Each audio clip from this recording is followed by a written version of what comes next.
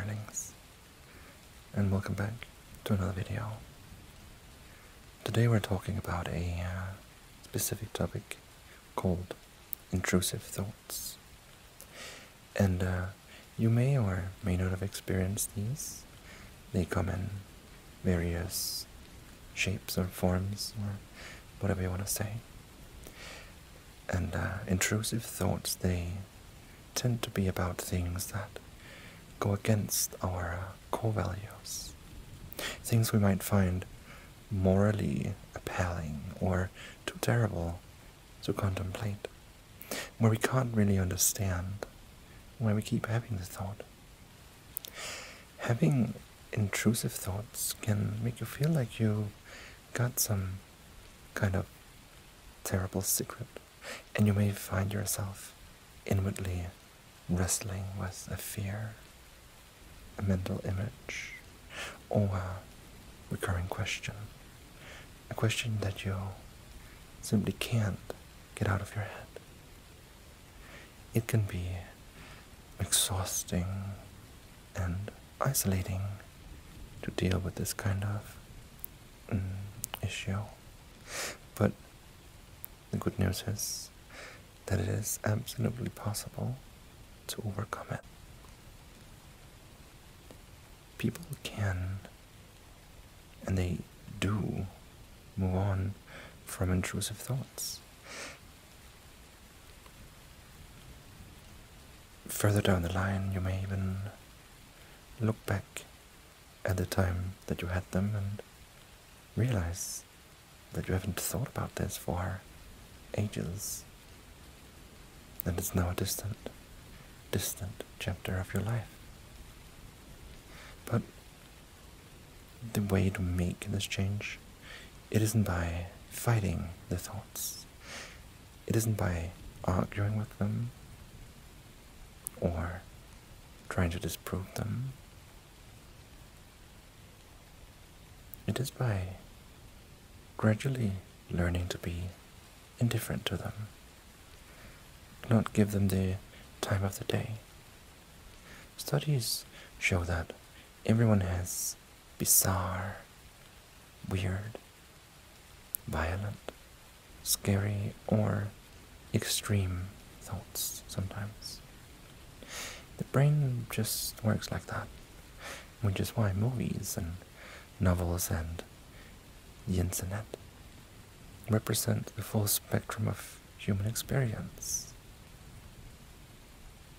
It's all a question of how we react to these thoughts and how much we can learn to be at ease with the weirdness and randomness of our minds. Intrusive thoughts very, very commonly demand an inhuman, impossible level of certainty from you.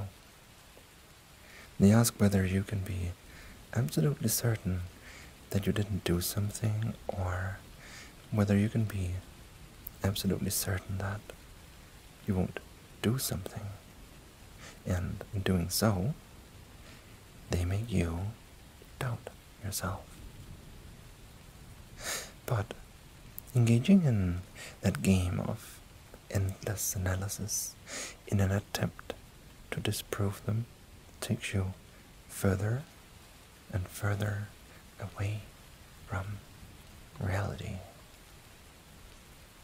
It's like getting lost in a maze or a hall of mirrors. Life isn't about inhuman levels of robotic certainty. If a conspiracy theorist with a microphone shouted at you in the street to prove that you are most certainly not an Illuminati, lizard, alien, you wouldn't lower yourself to engage in that debate. For some things in life, you just need to rise above the question, to not give that person the time of the day. Intrusive thoughts tend to trigger a sequence of mental actions. It often starts with a uh, doubt or a fear, perhaps one of the worst things you could imagine, or something that completely violates your moral principles.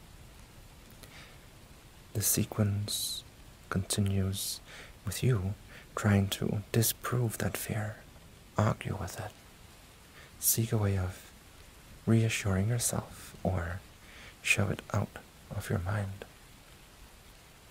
Eventually, after minutes or hours, you may find a way to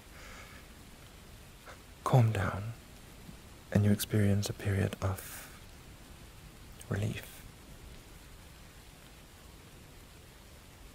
Unfortunately, this sequence, this uh, agitation and the high emotion, and then this repeated inner battle to get rid of the thought, this can cause the brain to treat the thought as if it is important.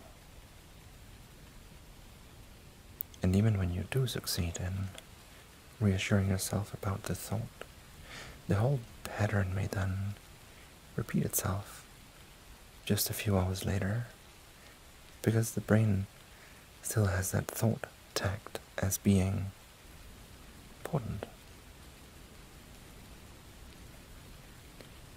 The way to stop this thought or these types of thoughts is paradoxically to allow them but not engage with them. This stops the entire sequence dead in its tracks. When a thought becomes starved of attention, it will gradually wither away until they lose their hold over you. The brain categorizes them as irrelevant. Irrelevant noise to be tuned out, to be forgotten over time. And that's what the uh, deeply, deeply relaxing, hypnotic part of this session is going to enable you to do. Now, as you prepare to relax very deeply, you can just allow those eyes to close, or you can allow yourself to follow my fingers gently caressing your face. And as you follow along comfortably to the sound of these words and breathe smoothly and evenly, I'd like you to tune in to where it already feels relaxed within the body. Just take a moment now to glide your attention down from the crown of the head, relaxing more and more with each slow, smooth out breath. That's it. Gliding your attention all the way down through the body to the tips of the toes and noticing where it feels more relaxed. Noticing where you feel most relaxed.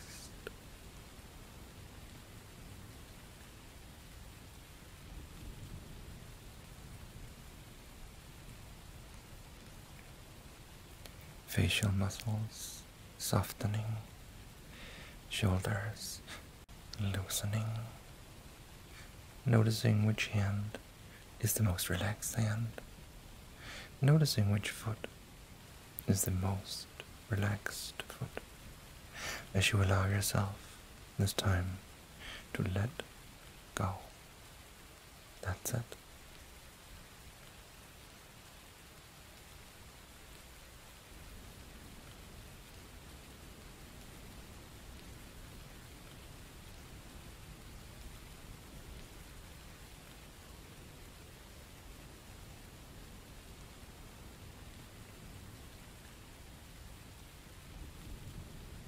No need to make any conscious effort.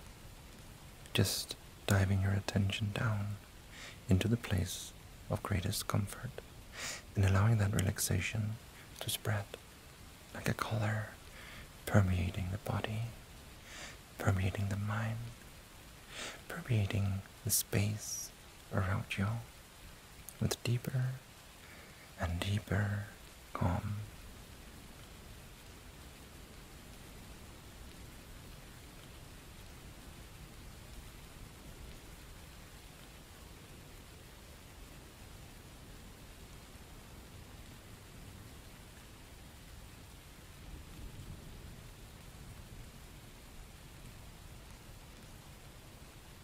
And as you relax down even more with each number from 5 to 1, 5, recalling a really enjoyable time from years ago. Or favorite place, 4, allowing an enjoyable time or place to come to mind. Now or in a few moments as you see what you see and you hear what you hear and feel the sensations of this well-being and enjoyment all over again. 3. Relaxing even deeper still, taking in the sights and sounds of this place, noticing what's particularly present about having all the time in the world to take in the good from this time. Two times deeper still. That's it. Relaxing deeper and deeper now, all the way down to one.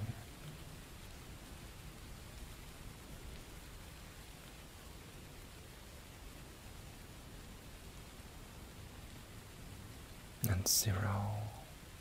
That's it. Minus one, minus two, minus three, minus four, minus five.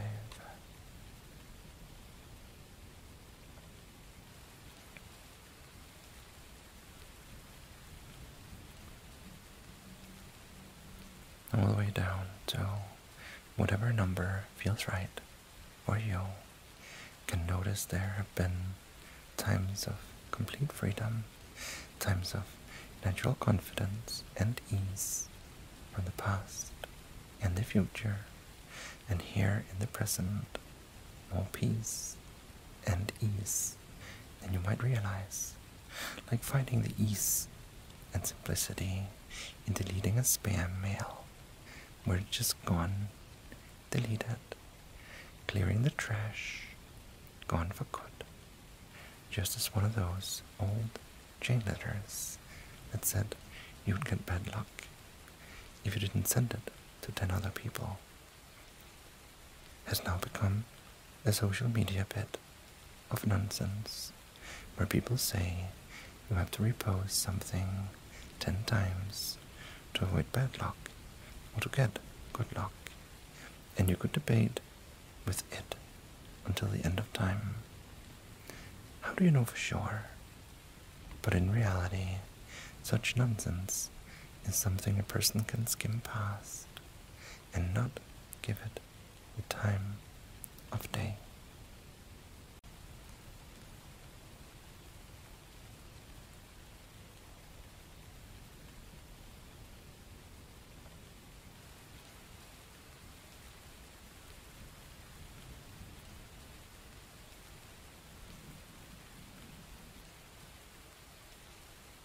And I worked with a client once who had been dealing with intense, intrusive thoughts, where she felt like she had to constantly justify herself against them. She felt like she had to protest to those thoughts, how they weren't true, and I invited her to this practice I'm giving you, externalizing the thoughts, turning them into a black and white photograph and to send that photograph off further into the distance and then to send the part that felt like those thoughts had to be disproved into the distance too, so that the thought and the urge to disprove them become more distant now, more detached.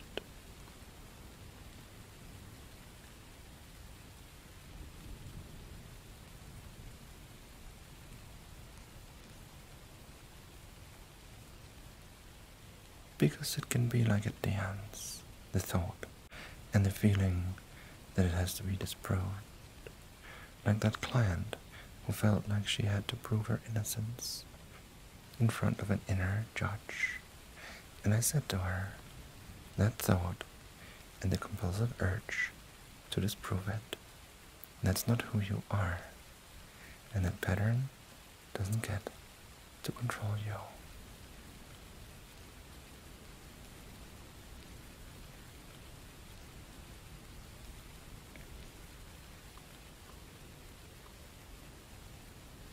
And I remember once watching a talk by a very erudite political teacher discussing the fine details of world politics, and someone in the audience asked him a tangled, convoluted question about conspiracies and about whether a particular tragic event had been secretly planned by a shadowy group of elites and whether all the people involved were actors.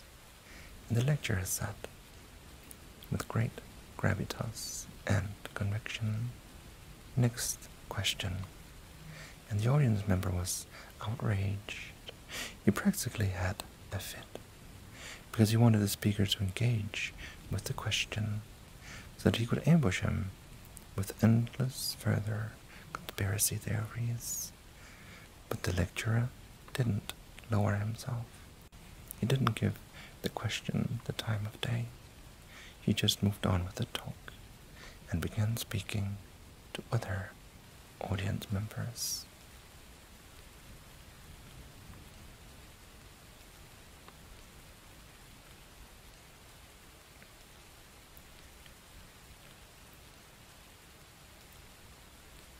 And I said to that client, some things are just an imitation into a maze of nonsense, and you can say no to the maze in the first place. You can walk on by, just as you can send that thought off into the distance and observe it as a small black and white photo way over there.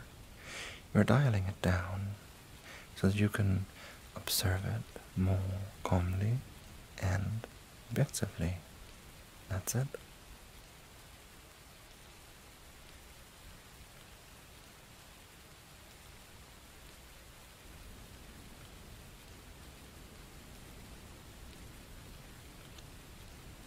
Just as you can send that old compulsive urge to battle with it, that old need to justify yourself and to disprove it.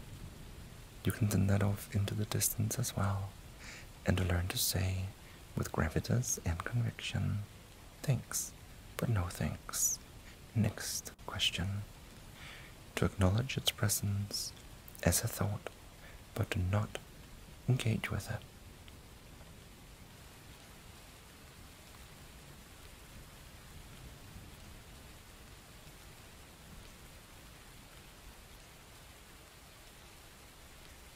Thought may protest. It may fume and stamp its feet. It may shout, how do you know, for sure, like a conspiracy theorist full of spin and mistruths, or a chain letter trying to spook the reader into reposting it, and you can shrink it down to size. A faded black and white photograph, just brain noise.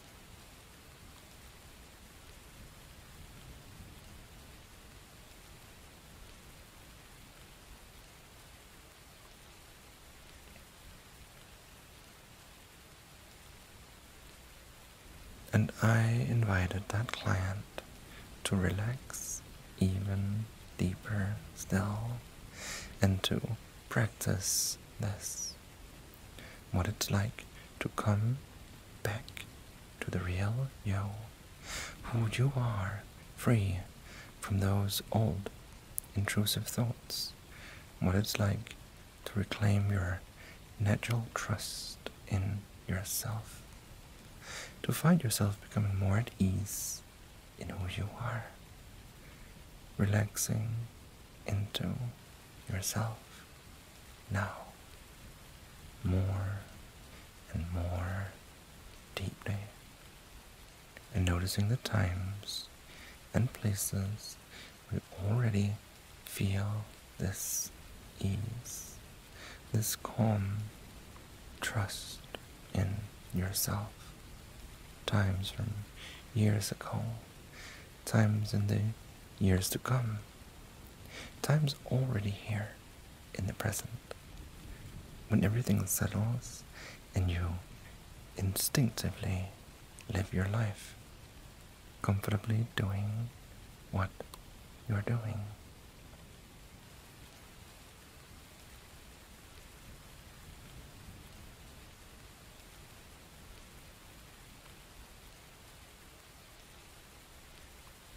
She found that she overcame the old intrusive thoughts by seeing them for what they are just noise. And no matter how intense the thought may have been, countless other people have had the same thought, or one nearly identical to it. And some of those people may have ended up in an inner battle, trying to disprove the thought.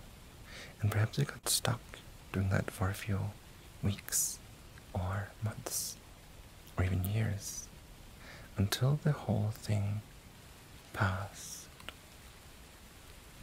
like a phase in their life that they eventually got through and moved on from. And some of those people were able to just shrug it off in the first place because the brain can roam through the whole landscape of human experience, just like the uh, wide variety of films, books, music, TV shows, all of it capturing the full spectrum, the full spectrum of what the human imagination can create. And you can find more ease with your own thoughts now. And you can find more ease in the space between, beneath, and behind the thoughts as you relax more and more deeply into yourself. Now, that's it.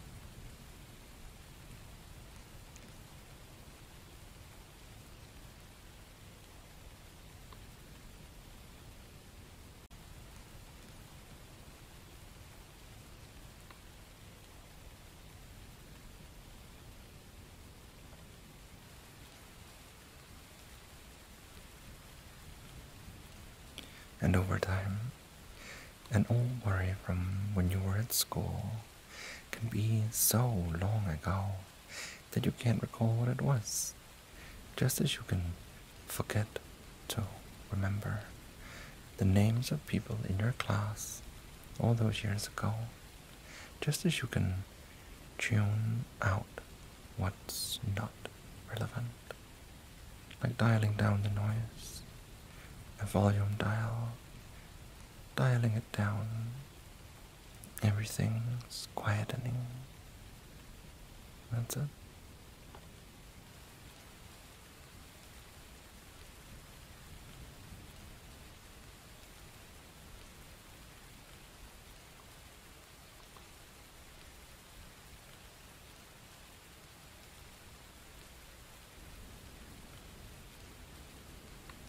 You can just get a sense of a future you in the coming days, looking and feeling so much more free from that old intrusive thought pattern. You, who is already so much more free from it, like a weight had lifted, feeling clearer, more confident, more at ease in yourself.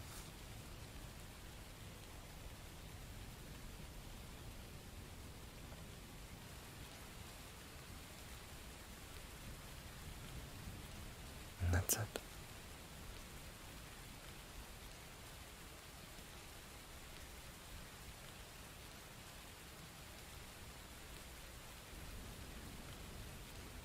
Hmm. With these positive changes continuing further and further into the future, you can know that a year ago, from a year from now, it'll feel like a very long time that you were listening on this particular day. Twelve months will have passed, four seasons, and you can just notice how much longer ago that old, out of date, intrusive thought pattern looks like a distant chapter in your life, and how you can really relax in yourself. Like breathing sigh of relief and release. Okay, to really relax into a deeper sense of ease and calm within now. And that's it.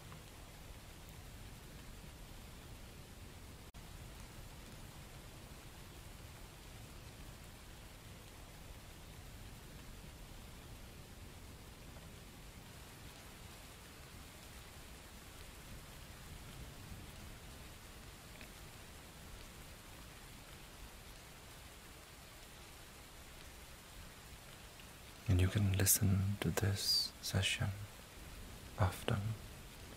And each time that you do, you can free yourself from that old intrusive thought pattern even more thoroughly. And for now, it's time to prepare to come all the way back to full alertness, back to the here and now as one you notice the position of your body and the sensation of whatever it is you're resting on. And that's it. Two, feeling refreshed and alert. That's it. Three, feeling very good. Coming all the way back now. Four, and you might like to have a nice stretch as you do so. And that's it. And five, whenever you are ready, you can just open your eyes and welcome back.